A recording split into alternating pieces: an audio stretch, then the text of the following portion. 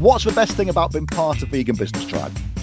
Oh my gosh, I'd say the people and honestly you. You've been such a great resource. Like not, I paid you to like, say that.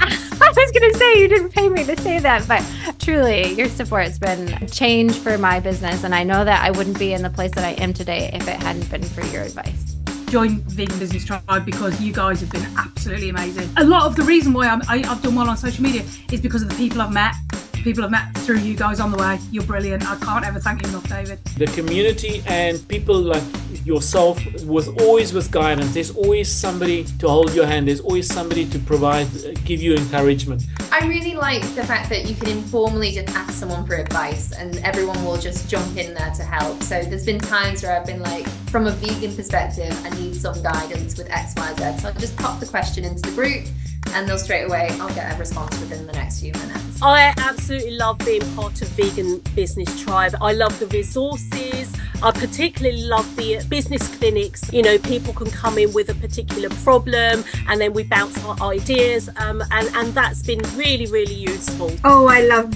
being part of Vegan Business Tribe. It's the community, it comes down to the community. So, always having someone there to ask questions or share ideas with everybody is just really friendly and kind and everybody wants to help everybody which is which is nice. Like i think there are very few kind of industries where helping each other is more important than competition. And you really don't have this kind of sense of competition in vegan business tribe. It's very much everybody has the same goal and we're all doing this together and we want to help each other.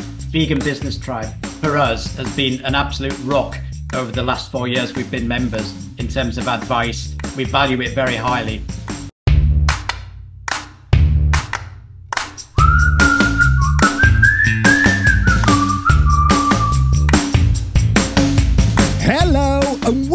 episode 123 of the Vegan Business Tribe podcast with myself, David Purnell. And Vegan Business Tribe is here to support you and to inspire you, not just to build a vegan business, but to build a successful vegan business. And you can listen along on Spotify, Apple, or wherever you get your podcasts, or you can also watch the video version on YouTube too. And thank you as always to our absolutely amazing sponsors who are Vegan Accountants, Mindful Wealth, the Vegan Publisher, and Mad or Make a Difference Promotions. And those voices that you heard at the start of this episode, they were just some of our Vegan Business Tribe members telling me what they thought the best thing was about being part of Vegan Business Tribe. So, if you are a regular podcast listener and you feel that you get value out of our free content, but you're not yet a member of Vegan Business Tribe, I'm talking to you then stop what you are doing and head to our website right now at veganbusinesstribe.com because not only will you find all the help, the community, and the support that you need with your vegan business, your membership, it will mean that we can keep doing everything that we do to support and champion vegan businesses around the world too. Now, today we've got a super special episode. And I know, I know, I say that every episode, but today we really have because we are going to the core of what it means to have a vegan business. And in a moment, I'm going to be joined by the original vegan business guru, Katrina Fox, who is my fellow resident business expert at Vegan Business Tribe, to discuss our new Vegan Business Tribe series that Katrina has just produced for us about using your business as your vegan activism.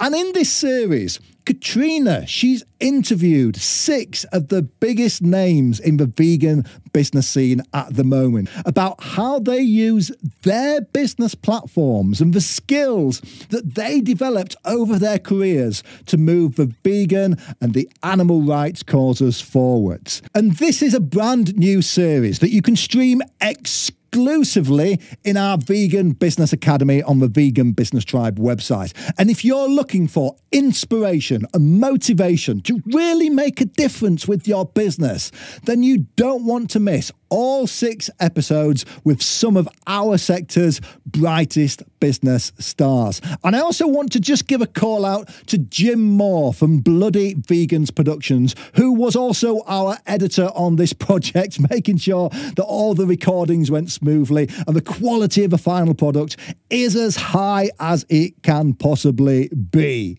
So, on today's podcast, Katrina joins me to talk about the six entrepreneurs that she interviewed for this series. And it ranges from vegan tech entrepreneurs to champion bodybuilders to online vegan stores who've got million dollar turnovers and even a vegan Willy Wonka with his own vegan chocolate factory. So you don't want to miss any of that. And Katrina and I, we also talk about our own takeaways from these interviews, including the crucial things that Katrina learnt as well from interviewing these amazing vegan entrepreneurs that you can adopt into your own business too. So, Let's jump in. But as always, if you want full access to this new series, then if you are already a Vegan Business Tribe member, all you've got to do is log in to our Vegan Business Academy and you will find all the episodes ready to stream there, just like Netflix. But if you're not yet a member, then we're also offering a free month's access to Vegan Business Tribe so that you can watch the full series, so we can get it out there to as many people as possible, alongside hundreds of hours of masterclasses, online courses, and guides guides that make up part of our members' permanent collection too.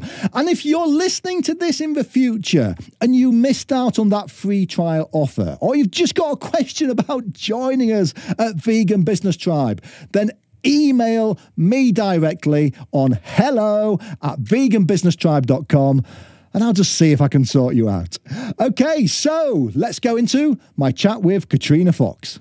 I am with Katrina Fox, our resident vegan business expert at Vegan Business Tribe, and we're talking today to introduce this new series that Katrina's just recorded and produced for us on the theme of using your business as activism. And in this series, Katrina, you've just interviewed six of the most probably high profile vegan founders of the moment to fully understand what it means to run a vegan business and how you can use the business skills that you have to help move the vegan cause forwards. And I wanted to catch up with you now, now that you've done all the interviews, just to run through the people that you talk to and kind of get your thoughts on each interview. And I'm going to jump straight in. And we're going to start with Matthew Glover, the founder of the Veganuary, Veg Capital, VFC, Vegan Fried Chicken. So just tell me a little bit about Matthew and his vegan business journey.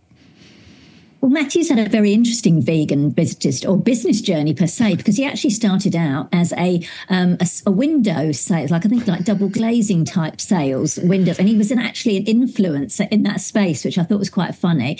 Uh, and of course, you know, he's gone on to, as you said, you know, become the founder of Veganuary, which is a global phenomenon, and has also started VFC, and they've bought other brands, and he's now uh, starting the what we the kind of vegan version of Unilever, which he sort of teased a little bit in our, our interview, but hadn't quite launched it yet. So that's what the exciting announcement is.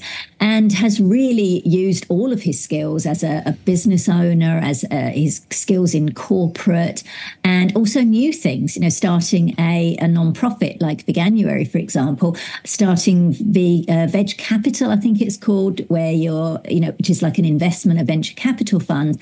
And I think that's really interesting and inspiring. What I liked about Matthew's interview, though, is he does give us all a real dose of reality. Because I think if I'd interviewed Matthew two, you know, three, four years ago, some of his answers might have been a bit different but in the you know in the, in the past sort of 10 years since what, what we call peak vegan when mainstream media and everybody was all over veganism we have seen many shifts and changes and he he, he gives us quite a, a, dose of reality in terms of if you are interested in in setting up a, a vegan business But he also touched on the importance of collaboration and consolidation and the fact that we haven't been prepared for this big backlash by animal agriculture with their misinformation, their disinformation campaigns. They've got the trillions of dollars to put out there to get mainstream media coverage proclaiming the death of veganism. And I know you covered that in one of your podcast episodes. So there's a lot to do. And, matthew as matthew said we we hadn't really seen that coming. And i like that he's pushing for the fact that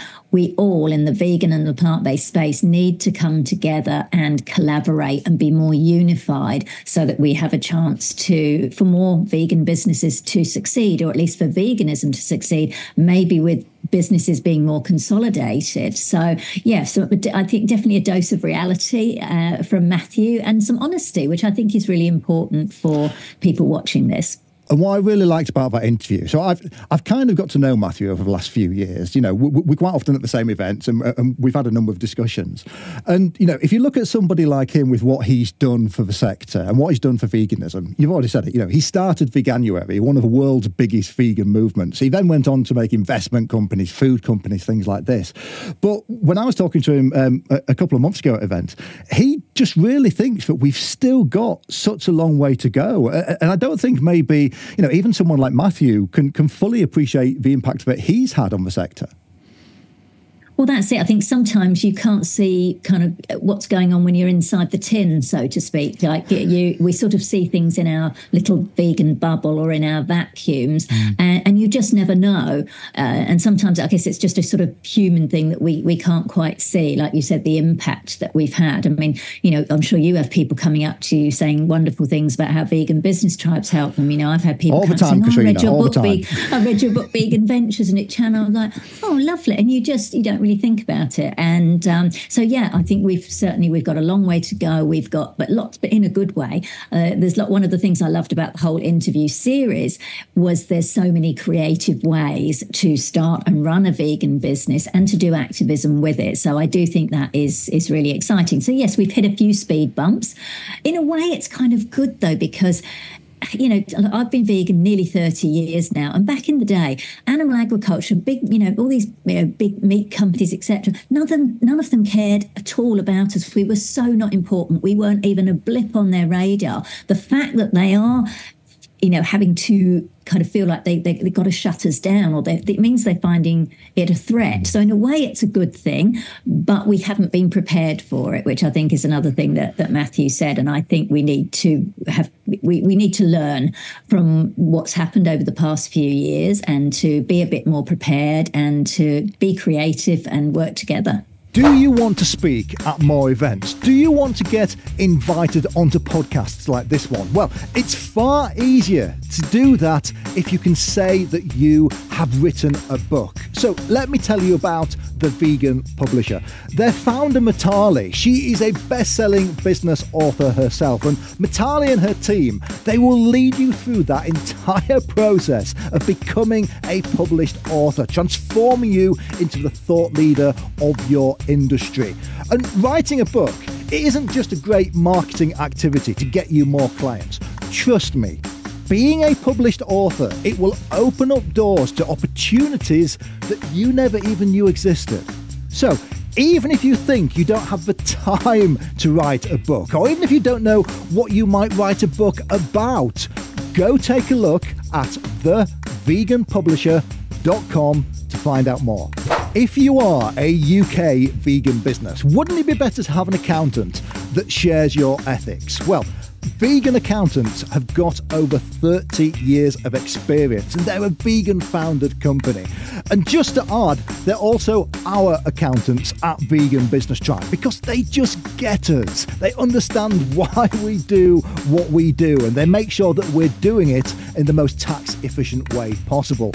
Keith and his team, they've been massive supporters of our mission at Vegan Business Tribe. So if you are an established UK business with a growth mindset and you want an accountant that is going to help you grow and shares your mission as well as saves you tax, then just go to veganaccountants.co.uk to find out more. Absolutely. So, on to, uh, I think one of my favourite interviews from the series was Naijha Wright Brown from the Black Veg Society. And she also runs a celebrated vegan restaurant, uh, Land of Kush, in Baltimore as well. And, and just what an amazing background she had before she got involved in that vegan movement.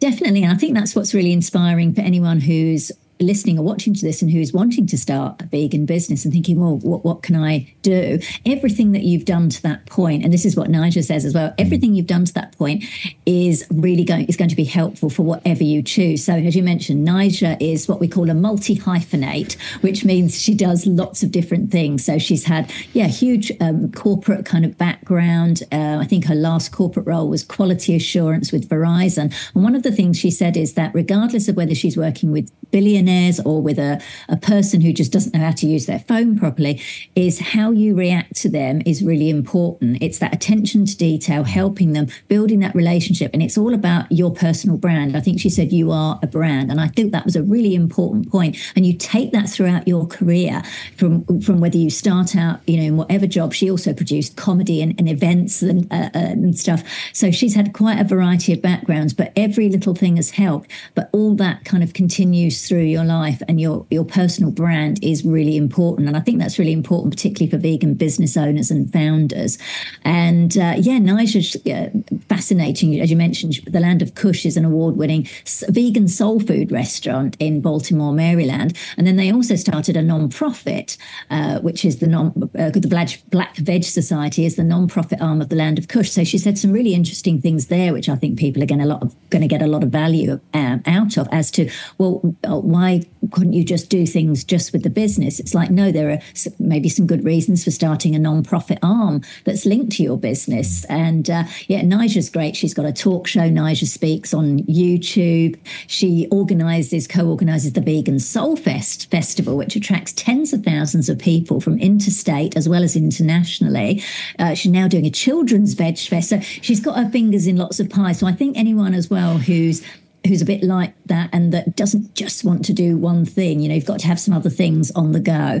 Um, she's really inspiring for that and offers some tips and advice on how to be able to juggle all of that. So yeah, she's wonderful. I love. I've known Naijha for a good few years now, and uh, she's amazing. I'm so glad we got to chat with her so I as well, because I, I think in veganism, we don't talk about cultural heritage so much and, and, and maybe race and veganism as well, because, you know, people do look at the vegan movement and they might see a lot of white faces within that. But if you are an African American, you are more likely to be vegan than if you are white. And, and I think that's a conversation that we've not had enough.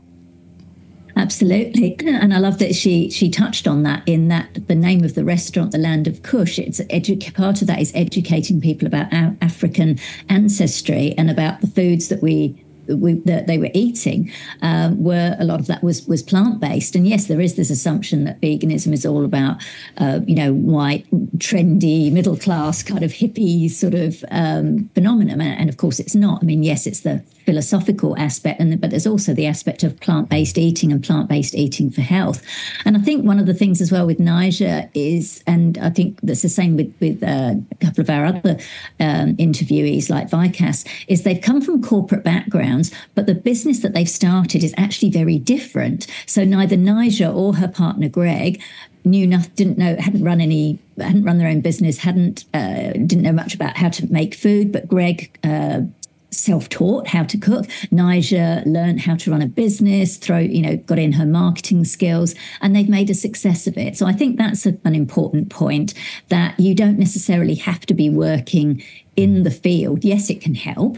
Uh, like Geoff Palmer, for example, worked in the supplements industry and then started his own business within a particular niche. But you don't have to. You can actually retrain. We've seen a lot of people leave corporate and become vegan lifestyle coaches, which is totally different from what they were doing. So you can retrain. But as we said before, everything that you're bringing, all those other skills, whether you know they're people skills, communication skills, leadership skills, you bring that with you to your new business. So I think that's that's really really important um, as well. But yeah, absolutely, really important to to cast our um, our perceptions a lot wider. And there's, you know, amazing people doing brilliant work in, in that space as Tracye McQuirter. And Naijha is one of the leading lights in that. She's a big, big collaborator. She collaborates within the vegan space, outside of the, the vegan space, doing amazing things around, yeah, veganism and, and race as well, which is really important. So you just mentioned uh, Vikas there, so Vikas Garg, who's founder of the vegan review platform and app Abillion, and and again, that's somebody who's you know had a very different background, but they've been able to bring some of that skills to actually build something which has really grown amazingly quickly. Definitely. I mean, he came from a, like a serious, you know, when I say serious corporate investment banking type background, and uh, he wanted to create. The, he wanted he had their entrepreneurial spirit, and he created an app. And it's I remember when it first started, Abillion. It started out as a an, a review app where you could go to a vegan restaurant or you go to a restaurant and have a vegan dish, and then you review it and you post it to the platform, and then a dollar is donated to a charity of your choice. And then since then, it's grown. It's become even bigger, and now I think it's I can't remember the figures, but he's raised a ton of money for for charity, like to to vegan and animal or, and other organisations through the app, and it's a really interesting model. And um, yeah, it's just a very very interesting model. And what I I liked what he said about he, came from an investment banking background. He wanted to create an app. And so he went on a coding boot camp. Now, he didn't code the whole thing. He hired developers because it's highly technical. But he went on that coding boot camp to have an idea and an understanding about what was involved so he could speak the language and li- liaise with the developers. So I thought that was a really good tip as well for people that, yes, even if, if you're going to go into something different, maybe shadow somebody or, you know, find out as much as you can about that world. Um, and Abillion has gone from strength to strength, and they're now offering, I believe, uh, you can buy have uh, have shares in the company. So not an IPO, but instead of your dollar going to a charity, you can choose, or, or to yourself, you can choose to have uh, stock in the company. So he's got a really interesting model, and um, and very unique as well. Uh, so I'm really excited to see where that goes. And he shares some, yeah, excellent advice on his entrepreneurial journey and creating something quite unique. I think it's two million dollars that they've um, already given to good causes, yeah. which that, uh, it's know, amazing. That, that, kind of level for, for you know what they've created. That that is absolutely amazing. But I, I just want to just again pick up on that point of the idea that you know. Um, it, it, he didn't directly use his background as an investment banker to, to, make a product. He used that background to actually get the money in, to raise money, to, to get funding and things like that. And I, have met so many people who do have a corporate background and, and they're, they're, thinking, well, what vegan business can I run? And they end up, you know, making cupcakes or something. And it's kind of like, you know, you, have got to bring together the, the, skills you have and that career capital with something that, that you um, are going to launch next. So that whole idea that he didn't code it himself, he didn't build it himself, himself. He just went and learned how that whole industry works so he could bring his skill set, which is raising money, managerial, into making something which has had an absolutely massive impact already.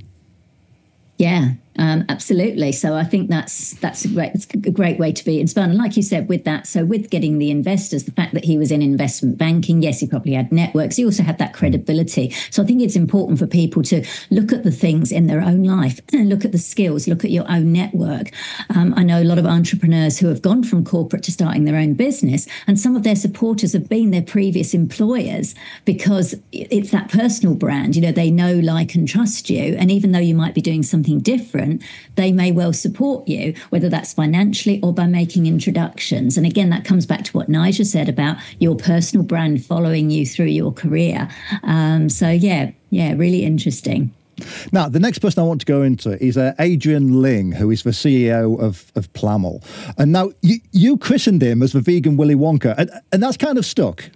I loved it. I, have I've known Adrian for a long time, and I interviewed him for Forbes a few years ago, and I nicknamed, nicknamed him the vegan Willy Wonka because he literally has a chocolate factory. He literally has he's, a chocolate he's got, factory. He's got the hat.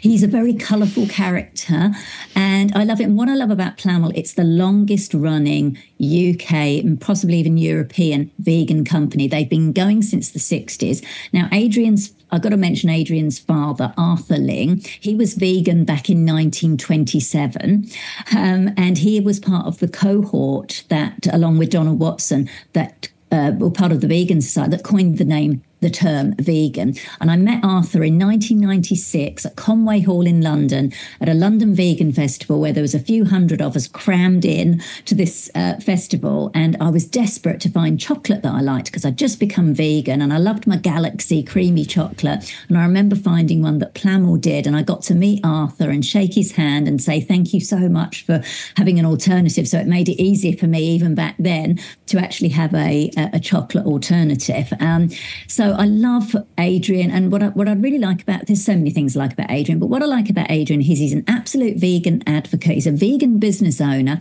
but he also gets himself out there, out of the vegan bubble, into the world of confectionery. He's constantly on panels and speaking, and and in that world and also constantly innovating. So, coming back to what Matthew was saying about how much we need to do, um, and perhaps we weren't prepared for certain things, one of the things I think that Plamil has, has been very smart about, and particularly with Adrian, because he trained as a chemical engineer, but he'd worked in Plamil since he was a kid. And he joined the company in 1980 and decided to just work with them. He said to me his father was a visionary and a pioneer, but not a businessman. So, but what I think Adrian has brought to the company is real that real kind of sense of, of business.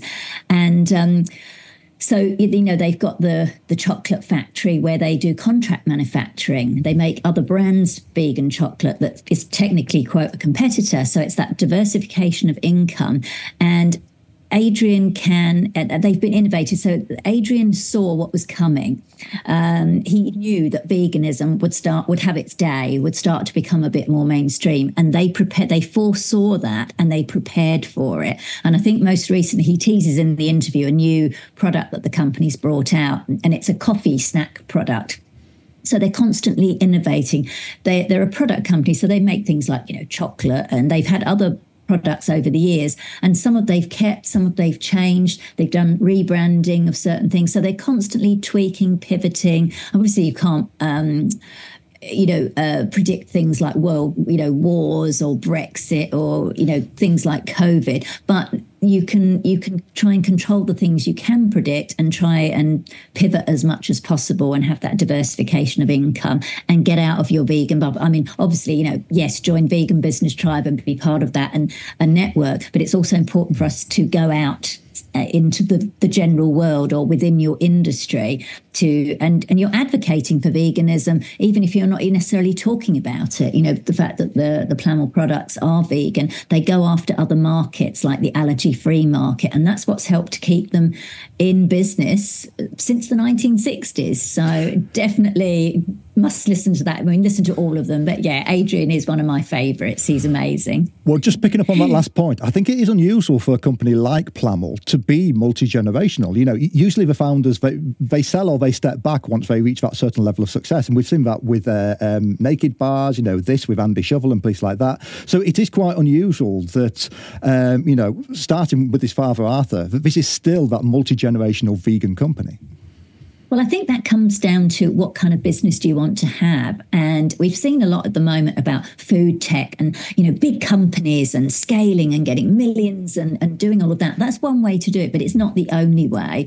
And you, you know, you could be a vegan solopreneur because remember, we've got vegan service providers who are running their businesses. So you could be a solopreneur at home in your home office working online, right through to the big multinational, global, you know, huge kind of companies. And then you've got everything in between. You've got a local restaurant or you've got something like Plamil. Now, look, I'm from the UK, but I'm based in Australia. I'd love to see Plamil in our supermarkets and on the shelves, but I'm not going to. And that's okay because they are thriving and they're doing what they need to do in the area that they do it. And that's okay. I think sometimes we can get a bit carried away with reading about these big success stories, but you might just want a business that's a lifestyle business that will support you and your family, give people work in the area and and do good in the local area. So there's many different ways of running your business. And I think that, as you say, that's a really nice example of uh, a family business. And he even said, I think he says in the interview with the employees, I think they've got about I don't want to say the number, I might get it wrong, but maybe 40, 50, maybe more employees. And a lot of them have been with the, the company for years, for decades, some of them, which I think says a lot to almost bringing that family, that sense of family and that sense of family culture to the workplace, which you don't necessarily get when you kind of become multinational and, and global. So, yeah, yeah, really interesting model. I'm sure that Adrian would talk to you about being the Australian franchisee for Plamil. I'm sure you'll have that conversation. Uh, just moving on then. So, so, so, the next person you interviewed, uh, again, fascinating conversation with Annick Ireland, who is the co-founder of Immaculate Vegan. And, and this is an online vegan store that's turning over more than a million pounds worth of sales a year. What I really like about Annick and Immaculate Vegan is it's an interesting model because there's no warehouse, there's no shop front. It's an online store, and the model they use is drop shipping. So they handle everything, the customer service and the sales through their website, but they're fulfilled by the brands. Um, and I think that's a really interesting model because obviously it keeps overheads down. But what's also interesting is that Annick said they're not yet profitable. So they've raised quite a lot of money. Their sales have gone up, but they're close to, they're very close to turning a profit. So that's something to be aware of as well is that, you know, if you're going to do a particular business, how soon are you going to get to profit? And if you're not going to get to profit quickly, how are you going to fund yourself to be able to do that. And I think the Immaculate Vegan have navigated that really well. Mm. One of the smart ways they did that was Annick partnered with Simon Bell, who is an e-commerce specialist and a vegan. So, and whereas Annick started that out, and this is a nice bit of information, started out as a blog, an Instagram blog, and has now grown into this uh, online fashion store. I think they're adding homewares and stuff now. And what they do as well is they bring other vegan brand, they showcase other vegan brands. They carefully select them. They're in the more premium um, category, and so that's a nice bit of collaboration. You know, they're they're they're bringing other vegan brands together on this one platform, this one kind of online marketplace that that people can buy from. So very interesting model. Interesting about the partnership, choosing the right partner to work with in your business, and uh, fundraise. You know, they've done well with both invest raising money from investors, but also crowdfunding because people obviously believe in it and it's carefully curated. And I liked some of the things that Annick said, which I which you can find out when you watch the interview about the many different ways, as with all of our interviewees, that they infuse different forms of activism. And obviously, with Annick's company, the name vegan is in there, whereas with others, the name isn't in there. So it's quite interesting. I think people are going to love how people are doing their various types of activism, whether that's vegan activism or other types of activism as well, which is great. I think even though you know the name vegan is in there, that um, immaculate vegan platform name, um, Annick she did talk about that idea of subversive activism. You know, the fact that many of the products on the site that they are vegan is maybe secondary to some of the people who are buying them. They're just focused on really good quality products.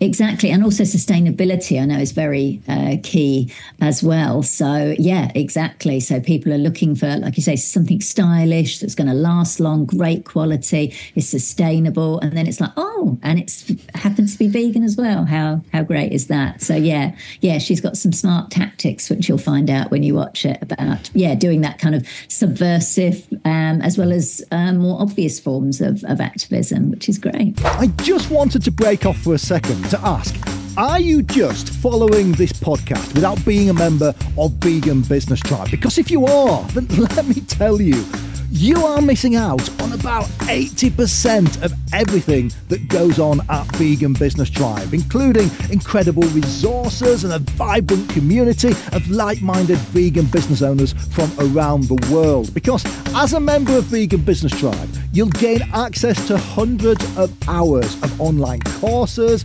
and guides and masterclasses in our Vegan Business Academy to help you grow your vegan business. You'll also get to attend our regular online networking meetups where you can promote your business and just forge those connections with fellow vegan business owners just like you.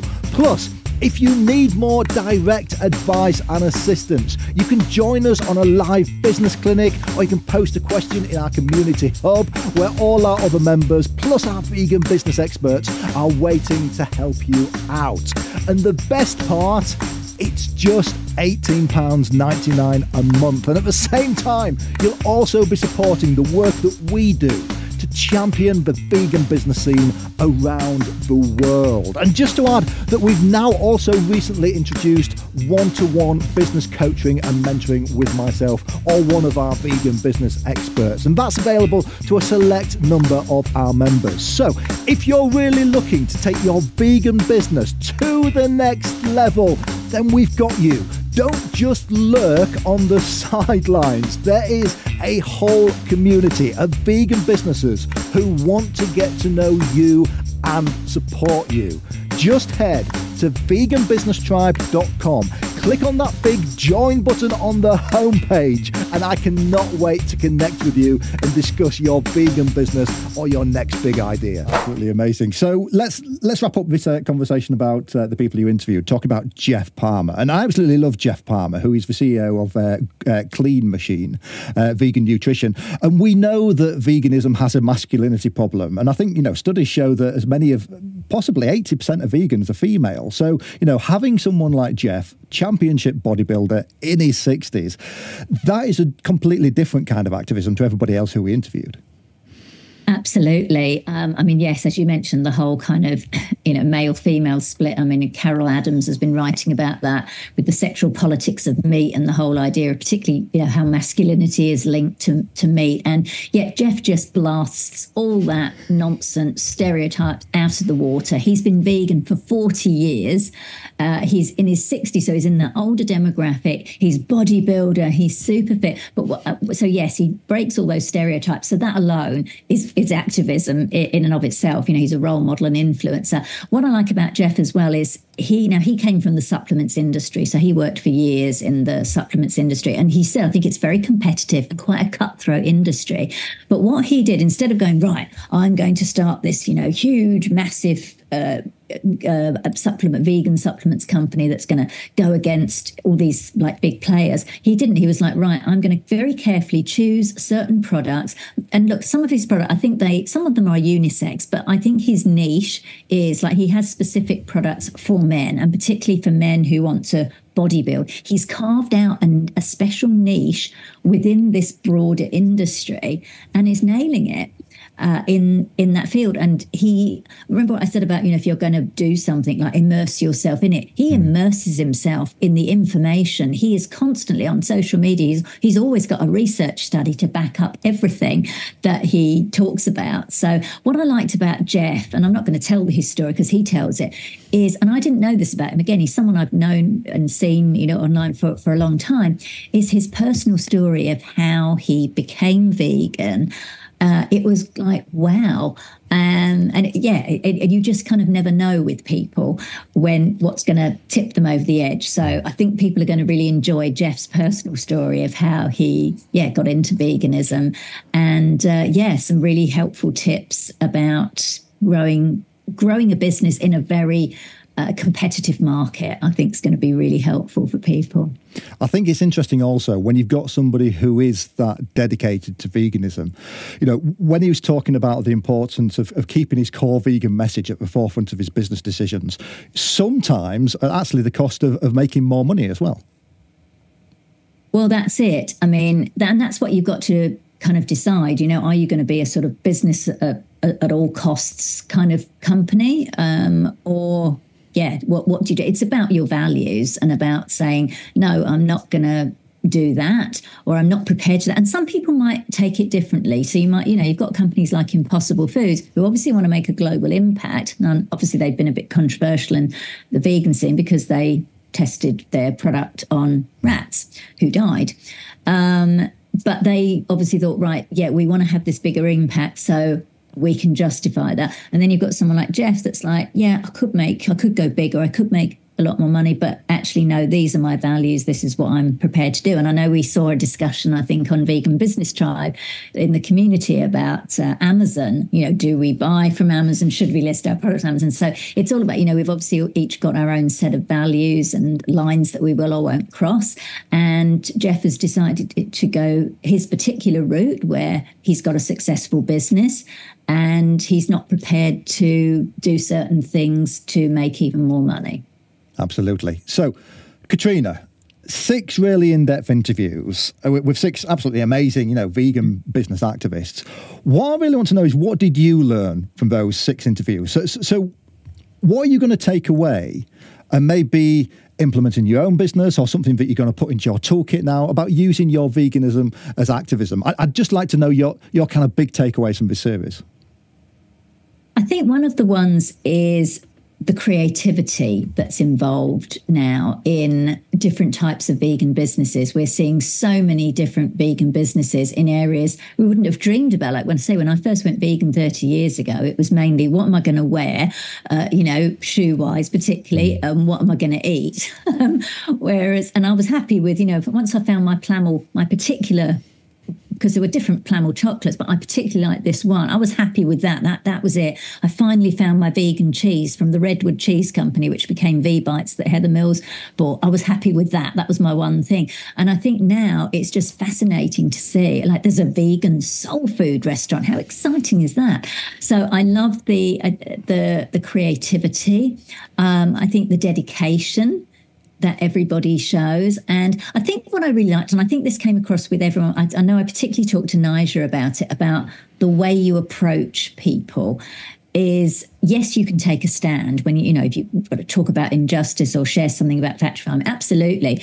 But when you're dealing with people one on one, one of the tenets of the Black Veg Society is meet people where they're at. And I really liked that kind of inclusive type of activism that all of the interviewees do, even if they feel very strongly. And Adrian, I know, is quite outspoken, and you know, we all can be on you know some issues, but you can still be inclusive and you know go into those other markets go as i said go out of our vegan bubble into and meet people and invite them into veganism so that it's something that they're attracted to and that they want to be part of they want to try because we've got a lot of stereotypes to overcome around people are telling themselves stories in their head about veganism about vegans and about vegan products. I've heard stories of stallholders at markets trying to get free something you know as people are walking past saying would you like some free vegan chocolate? And they go oh i'm not vegan. Like they they think hmm. you've got to be vegan to taste the free chocolate. So i think we've got a lot of stereotypes to overcome a lot of negative stories to overcome. And what i loved about all of our interviewees is that they really take that inclusive and positive stance to invite people in to showcase their beacons of veganism in a positive way. Um, so that was one of my big takeaways. I think the second one was probably resilience. You know, all of them we've spoken to have been in business, uh, some longer than others, but. Uh, that just that sense of resilience because we've seen so much change even just the past three or four years, we've seen, we've had so much upheaval in the world and divisiveness and things that we just couldn't have predicted. And so, yeah, seeing how people have navigated that, I think that's been, um, yeah, really excited and maybe given me perhaps a renewed sense of excitement about the the world and veganism and vegan businesses because obviously you know we've seen a lot of vegan businesses closing, and not just vegan business, obviously others have as well. And I just love the fact that the we've got these people here showing that you can run a successful, thriving vegan business. Yes, you're going to have challenges, but doing it and doing it in a way that is inviting to people. That's my key takeaway, which I loved. Absolutely brilliant. Uh, uh, and just to pick up on that first point that you made, I mean, we often say at Vegan Business Tribe, if you've got a vegan business, but you only look to sell to or engage with vegans, then you're kind of missing the point of having a vegan business in the first place. You know, the whole idea that we have vegan businesses is to move that vegan course forward. So, so it, it's wonderful that that came up in, you know, quite a few of the interviews as well. And I think a, a, another really important point for me, which I took watching back those interviews, was this whole idea of kind of embodying the values of veganism, you know, personally and professionally. So many of the people that you interviewed, their kind of vegan business was so tied up with their personal story. You know, uh, listening to so many of those interviews, when people spoke about, you know, why they went vegan and why they then set up a business on the back of that, that really resonated with me as a business owner. And I'm sure it's going to resonate with customers as well. So I wonder if you if you could tell me a little bit more about that idea of storytelling, because I know this is something that you're you're really good at yourself, and it, it, it's something that you've really honed in over this last couple of years. Yeah, definitely. I'd sort of taken a little bit of a step back from just the kind of general vegan business world and started collaborating with you.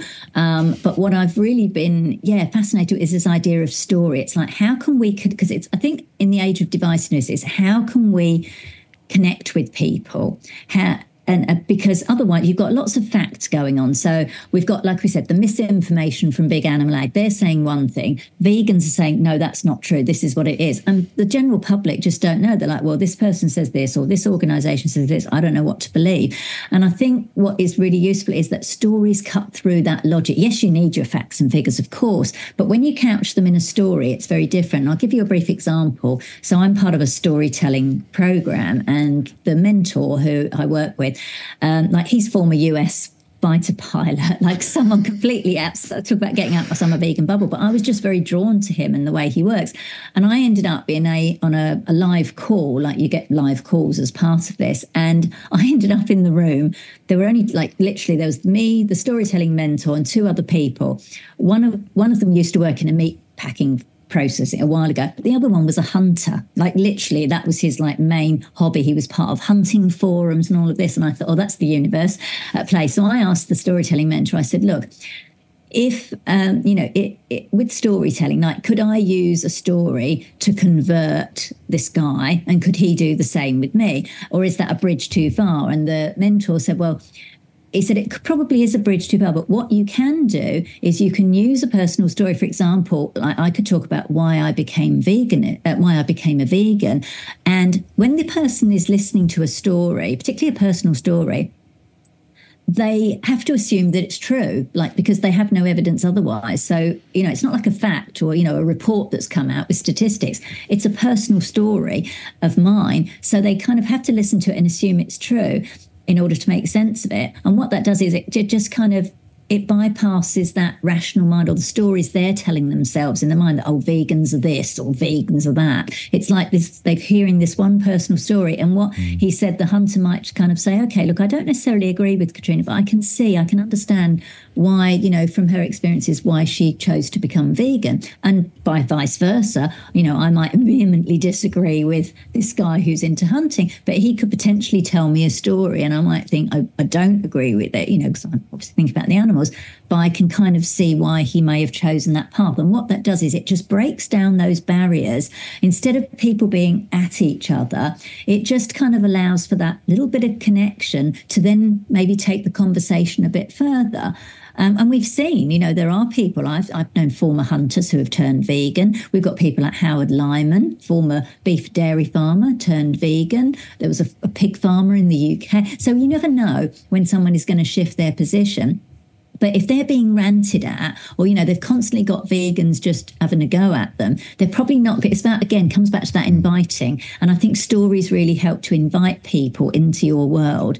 So I think founders definitely need to tell more personal stories, but we also, I think, as a movement, need to change the narrative around veganism because it's gone back to, oh, veganism is dead, veganism is, you know, past food is ultra pro, all of that stuff that's coming out in the mainstream media. We need to change the broader narrative, and we do that by sharing those individual stories, whether that's a personal story for you as a founder, which I think is really important for founders to do, not hide behind your brand, um, and also through whether it might be staff stories, customer stories. So, and it's storytelling in a different way. So, as a journalist, I've you know worked in journalism for 25, 20 plus years and it's a different way of telling stories. So I'm having to reskill. Talk about remember I said about upskilling and reskilling. Even I'm doing having to do that because yes, I can tell stories in a certain way as a journalist, but telling stories in a way to connect with others is actually quite different. It uses certain structures that our brains are actually used to, and they know, oh, this is a story, and we relax and let it in. So I think that's super important, and I'm excited to bring that to the vegan and plant based space that's a really good activism tool as well. And when we talk to vegan business tribe members who are maybe struggling to get that penetration, that's something I always go back to. You know, have you got a story that you can get across? Because I think when you talk to somebody just about your business, and especially you talk about journalism and PR, if you go to a news um, platform and start talking about your business, it's an advertisement. But if you start talking about yourself and why you started that business and the mission that you're on, that's when it becomes a story, and that's when more people will pick you up. So, uh, yeah, yeah. Absolutely brilliant thing to pick up. If you are looking to get your business in the news or on the radio or interviewed on TV, then no one's going to get your company noticed like Karen Ridgers and her team at Mad Promotions. And Karen, she's been at the forefront of the vegan media scene for the last 20 years. And Mad Promotions, they're also our media partners at Vegan Business Tribe. So if you've read about us in plant based news or in vegconomist, then that's probably because Karen got that story there. So if you are an ethical company or entrepreneur that wants more media coverage, and if you're a company that is looking to make a difference, then that's literally what Mad Promotion stands for. Karen, she's worked with Veganuary, VegFest, and all the other big names. So go find out more at mad promotions.com. Did you know that in the UK alone there is currently around 3 trillion pounds invested in pensions? And much of that money it's helping to fund harmful industries like tobacco, fossil fuels, gambling and animal agriculture. So if instead you want to put your money where your heart is, then Jay Street is the founder of Mindful Wealth, our UK based independent and vegan financial advisor here at Vegan Business Tribe. And because they are truly independent, they're not restricted to any specific investment range, so they can find the best option that works for you both financially and ethically. Although do note that the value of your investments, it can go down as well as up. But you don't need to have a lot of money invested to make a difference. If you want to talk about your financial planning, whether you're just starting your journey or you need a little guidance on how to create and maintain good habits, then book a free discovery call with Jay by heading to mindfulwealth.com. The, the, final thing that I think I picked up as well um, was a few people said this who, who you interviewed was this theme that if you are going to create a vegan product, then that product just being vegan kind of isn't enough. It's got to be high quality. It's got to be ethical. You know, this isn't the 80s or 90s anymore in terms of vegan products. You know, consumers expect it to not have to be a downgrade from what they've bought before. Oh, totally. And there's a couple of things that that spring to mind is where was I? I was somewhere recently. Oh no, that's right. I won't say who it was, but somebody had given me some free products to try, uh, food products, and one of them, like if you looked at the uh, non-vegan version, like it had meat in it, like animal-based meat, but this vegan version didn't have anything like it didn't have tofu or tempeh or any plant-based meat and i had to say to him look you know, you can't be selling that to, you know, general public because they're going to be like, well, this is just a dish, but without the me, You sort of mean you've got to. Uh, so that was one example. Um, but yeah, absolutely. You look. You can be as ethical as possible. You can have the most ethical product in the world. It can be vegan, environmentally sustainable. You know, ticks all those boxes. Ethical labor practices, like the best. But if it's food and it doesn't taste good, people are not going to eat it. Like I say, I didn't. I was lucky. I found one vegan cheese and one chocolate that I liked back in the you know the mid '90s. But now there is so much choice, and and I'm vegan, and even I won't eat you know, stuff that I, if it doesn't taste nice. Just on fashion, I've been banging on my, my drum about this. For me, there's nowhere near enough bling, sparkle, glitter, and sequins in vegan fashion. It annoys the hell out of me. So will I go to? I mean, look, I get most of my like stuff. Like I will mostly get these from vintage stores. But I'll be perfectly honest. If I can't find something like I, I, I like and I want a sparkly jacket, you know, if a store has got it, as long as it's not leather or sweat or any animal product, of course. Will I go and buy it from that store or will I buy a bland beige from a vegan store? No, I won't. Um, and, you know, and that's me as a vegan. So obviously, you know, people who, who aren't yet vegan, uh, you've got to get them in. The, the taste or the look, the quality, all of that has got to be there. And it's almost like the vegan stuff, the ethics and stuff, it's a nice bonus in, in a way. Um, I think we've, we, we can't kid ourselves that, yes, our stories are important. And for those people who are conscious consumers, of course, they're going to be looking for those things. But at the end of the day, if the product's no good, doesn't matter how great it is ethically, they're not going to come back, they're not going to buy it. So that's a really important point, David. So, Katrina, uh, you know, thank you so much. This has been a wonderful series of interviews with with Matthew, Naijha, uh, Vikas, Adrian, Annick, Geoff. Have I forgotten anyone there? But you can view them no, all. I think that's all. oh, wonderful! But you can view them uh, uh, now exclusively on our Vegan Business Academy on the Vegan Business Tribe website. And just to give the last word back to you, Katrina, you know, have you got any last closing points that you'd like to leave us uh, about what you've learned about using your business of activism from this series? One thing I really want to say about this, because I've seen this discussed and I I, I, heard it when I first wrote Vegan Ventures, my book, back way back in 2015. I actually had someone who's vegan, quite prominent, actually say to me, um, "Oh, why are you focusing on business instead of activism?" And I was like, what? How dare you? How very dare you? Um, and I think that's really important is that this often comes up that there are so many different ways to do activism and running a business a vegan business is definitely a form of activism. And I think sometimes within social justice movements, we can get a bit caught up. I've seen it happen in the LGBTIQ space, the feminist space, you know, since the early 80s, early to mid 80s. Um, we often get fight amongst ourselves and we infight. And whereas people who are the the enemy you know or people who are oppressing people animals and planet tend to be able to put their differences aside and come together. And i think we need to do more of that. So i think rather than critiquing each other and saying oh your form of activism isn't as good as mine we need to let that go because running a business a vegan business is definitely a form of activism. So if anyone tells you oh you're not a proper act- activist because you're running a vegan business you can tell them to sod off. And you can tell them katrina Fox told you to sod off. what a wonderful no, place to end the interview. Thank you, Katrina. That's absolutely brilliant. So if you, you, you heard it here first, Katrina Fox has given you permission to tell people to sod off. So if you haven't yet watched the interviews already, then it's time to go to the Vegan Business Tribe website and dive in. So thank you, Katrina, and thank you to all of our amazing vegan business activists. Thanks, David.